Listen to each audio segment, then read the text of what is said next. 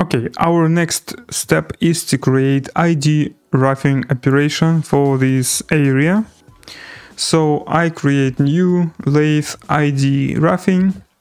So I have see that SprutCam has selected the desired tool by default, which is fine, but the, I need to adjust uh, job assignment a little bit. So on the in order to do this, I have switched to the job assignment tab here Okay, I will take this circle, move it.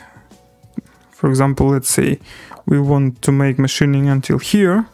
And I will also take this flag and move it to here. So flag is the end of the toolpath, the circle is the beginning. I need to change the direction because I want to move my tool not from right uh, left to right but to from right to left here. So it's quite easy to do in SprutCam I just press this uh, arrow and you can see that the direction is changed. And I will also change uh, lead in and lead out rules using interactive elements on the screen which is very easy and very user friendly for example like this let's calculate the toolpath but I bet we will have some problem here Yes, we have it and we can see that the machining result is not very good. Why is that here we have retract, you can see this line, we have retract, which is not correct. So I will go, let's, okay, let's first check what we have by default. So reset the workpiece, calculate up to current operation and press run.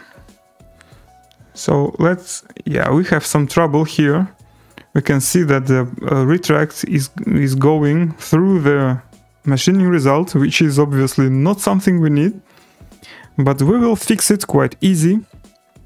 So in order to do this, we will go here and uh, go to links tab and change this return rule. So what do I need to do uh, is that first I need to go uh, from from this uh, from this area when the toolpath is finished I need to go uh, somewhere here over, uh, along the z-axis you can see the z-axis so the safe position for the z-axis is above zero.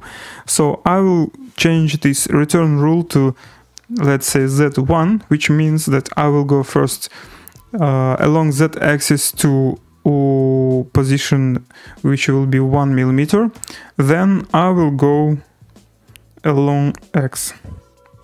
Okay?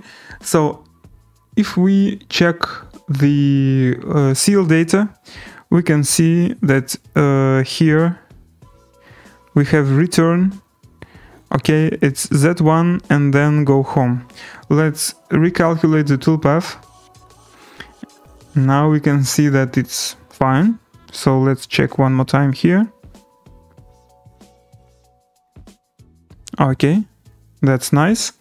So let's simulate and check the result. So I res reset this and press simulate up to current operation and press run on ID roughing. So we can see that the machining direction is fine. So no collision detected, no collisions detected. So approach and return are here, which is uh, safe and nice for us. So that's it. So next operation is uh, part cutoff. So I will create a lathe uh, part off operation. So you can see that the tool is automatically selected already. So if I go to job assignment, I have it here already. If I just press run, my part is my part will be cut off. But I have little chamfer here. So and in order not to make a separate operation for this chamfer, chamfer uh, you in SprutCam you can define it uh, here.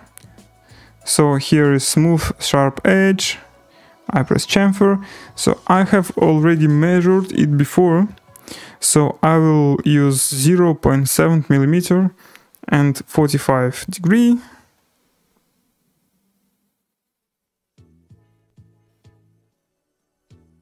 Sorry, not 45, but 15 degree. Okay, that's it. So this is for the chamfer. So let's go and uh, see our simulation result. Uh, we need to do it one more time, a little slower.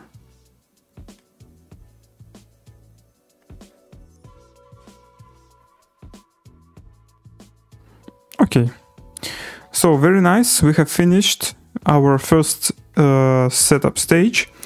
The one little thing I will also uh, change is that we need to get rid of this uh, rest material, the rest workpiece of the workpiece.